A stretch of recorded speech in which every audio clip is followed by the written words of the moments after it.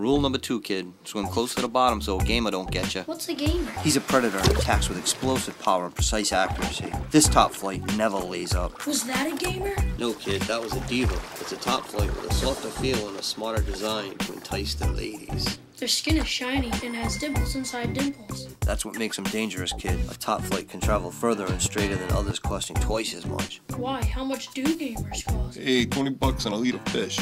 About the price of a goldfish.